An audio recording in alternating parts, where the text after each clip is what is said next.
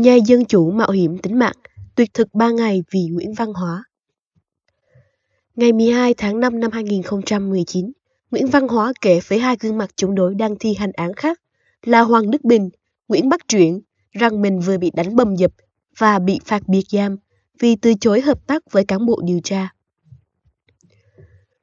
Cùng ngày, Bình và Truyện tuyên bố tuyệt thực để bảo vệ Hóa.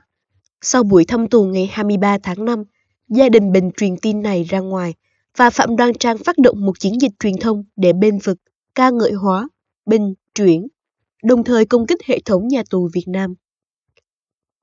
Trong tuần qua, chiến dịch truyền thông này đã phát triển theo hai hướng. Thứ nhất, họ ca ngợi hành động tuyệt thực và người tuyệt thực. Phạm Đoan Trang hô hoáng rằng vào ngày 28 tháng 5, Bình và Truyện đã tuyệt thực sang ngày thứ 16 và yếu dần. Trong khi một số gương mặt chống đối đang tại ngoại cũng đăng ký tuyệt thực tiếp sức từ 1 đến 3 ngày, hoặc tổ chức thắp nến cầu nguyện để ủng hộ linh hoặc tổ chức thắp nến cầu nguyện để ủng hộ.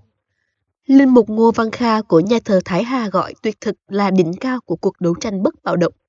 Trong đó, phạm nhân lấy tính mạng của mình để lên án nhà tù, lên án chế độ và thể hiện sự đoàn kết với nhau.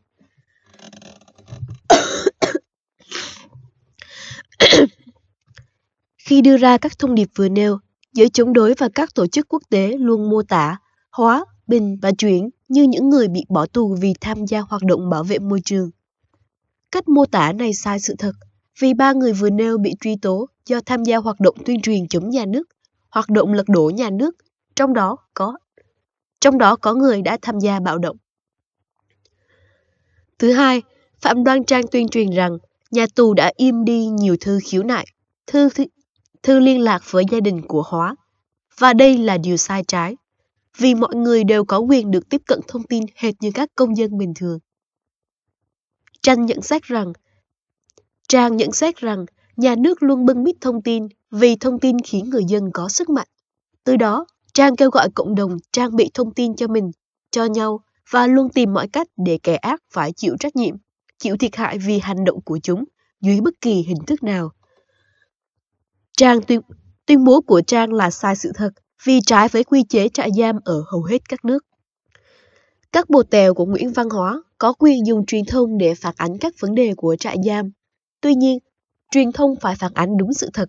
Để chỉ ra những điểm sai lệch trong truyền thông về vụ Nguyễn Văn Hóa, chúng tôi có thể đặt ít nhất hai câu hỏi như sau. Thứ nhất, nếu tuyệt thực thực sự là đỉnh cao của cuộc đấu tranh bất bạo động, trong đó phạm nhân lấy tính mạng của mình để lên án nhà tù, lên án chế độ, như Linh Mục Ngô Văn Kha nói, thì vì sao mọi nhà dân chủ từng tuyệt thực đều sống khỏe cho đến nay? Và những đợt tuyệt thực tiếp theo, dài từ nửa ngày đến ba ngày, nhằm mục đích gây cười hay gì? Thứ hai, nếu Nguyễn Văn Hóa chỉ hoạt động vì môi trường, không có mục đích chống nhà nước, thì vì sao Hóa lại tham gia đảng Việt Tân và được đảng này đưa đi huấn luyện ở nước ngoài? Vì sao các trang tin ủng hộ Hóa đều có nội dung chống nhà nước? Tại sao Hoàng Đức Bình vẫn là nhà hoạt động ôn hòa, bất bạo động, trong khi ngày 2 tháng 4 năm 2017, Bình đã cùng Bạch Hồng Quyền đưa người bao vây, tấn công tổ tuần tra của Công an huyện Lộc Hà và Công an xã Thạch Bằng, làm một công an bị thương. Bao vây, đập phá tài sản bao vây, đập phá tài sản nhà trưởng công an xã Thạch Bằng, kéo lên chiếm trụ sở công an huyện, Ủy ban Nhân dân huyện Lộc Hà. Về ý kiến của Phạm Đoan Trang, xin trả lời rằng, theo khoản 1, điều 47 luật thi hành án hình sự năm 2010, phạm nhân được gửi thư mỗi tháng hai lá thư, trường hợp cấp bách thì được gửi điện tín. Giám thị trại giam, giám thị tạm giam, giám thị trại giam, giám thị trại tạm giam, thủ trưởng cơ quan thi hành án hình sự công an cấp huyện phải kiểm tra, kiểm duyệt thư, điện tín mà phạm nhân gửi và nhận. Như vậy, giám thị trại giam có quyền không gửi thư của hóa nếu thư chứa nội dung vi phạm các quy định về an ninh trật tự. Ngoài ra, tù nhân ở hầu hết các quốc gia bị giới hạn khả năng liên lạc với bên ngoài, chứ không có chuyện mọi người tù đều có quyền được tiếp cận thông tin, hệt như các công dân bình thường, như Đoàn Trang nói.